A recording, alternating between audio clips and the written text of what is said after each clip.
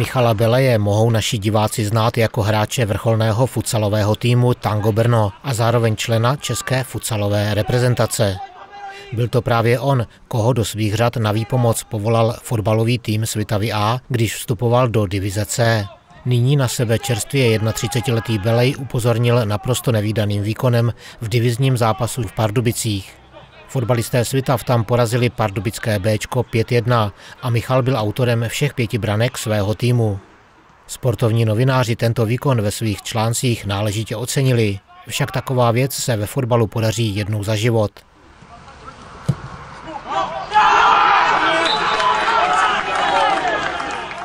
Já jsem to řešil s redaktorama novin a myslím si, že jsme se na to nějak vzpomínali s brněnskýma a mám takový dojem, že ve futsale se mi to povedlo, ale ve fotbale to byla premiéra, no, pět branek. Hold, někdy máte takový to štěstí, dáte, co tam skopnete, tak tam tam spadne a někdy prostě nedáte nic a teď to bylo i díky tomu nějakým futsalovým souhrám, dá se říct, jako co kluci se hráli, tak i to jsem z toho těžil, no.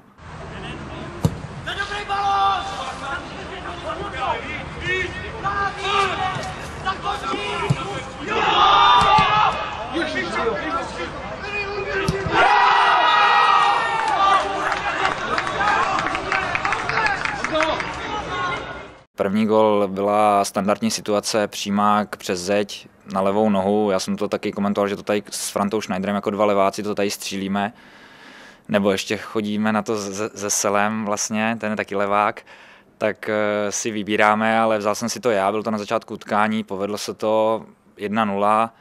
No a ty další branky, to bylo až v, druhé, v průběhu druhé půle, kdy to byl stav 1-1 bylo důležité, že jsme prostě ty goly dali a mám takový dojem, že jeden byl z rozehrávky z rohu po signálu, když jsem to vystřelil ze 16, padl z toho gól. Třetí gol byl nejjednodušší, ten byl, dá se říct, po střele Míšu Seidlera, kdy tam ještě do tyčky, do golmana se to tam nějakým způsobem šťastně odrazilo, ještě tam i Svoboda dobíhal a prodloužil to nějakým způsobem a já jsem to na bránkové čáře vlastně dokopával do brány. Čtvrtý gol, to byla zase taková, jsem říkal, chytrost moje, že tam se střetli dva hráči v 16. Pardubic a já jako třetí jsem z toho těžil, takže jsem to taky z malého vápna, dá se říct, dokopával do brány. Svitavské Ačko v závěru podzimní části divize fotbalové štěstí neopustilo. Po úspěchu v Pardubicích porazili Svitavy doma Turnov 3-0. Dva góly opět střílel Belej. Naposledy teď Svitaváci 16. listopadu v Liberci rozstříleli tamní Rapid 1-6. Dvěma góly se blízkl Svoboda, ale ani Michal Belej nezahálel a k jedné brance si připsal ještě asistence u dalších tří.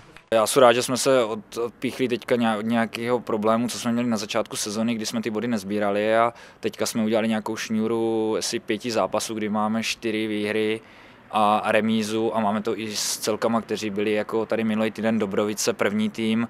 V Kutné hoře jsme s třetím týmem remizovali, takže můžeme říct, že to není jenom ze soupeřama ze spodu tabulky, ale je důležité, že jsme se teďka zvedli i proti soupeřům, kteří jsou prostě na špici a je jenom škoda, že jsme tam měli v průběhu sezony nějakým to klopítnutí a ty zápasy jsme prostě nezvládali. Nevím, čím to je, ale je dobrý, že jsme teďka ten konec, dá se říct, chytli a teď nám zbývají dva zápasy a pokud ty dva zápasy ještě zvládneme, tak si myslím, že se můžeme dostat na nějaký třetí místo, že můžeme vyskočit. Po nepodařeném zahájení sezony jsou Svitavy nyní na čtvrté příčce tabulky a Michal se vyšplhal na třetí místo mezi nejlepšími střelci.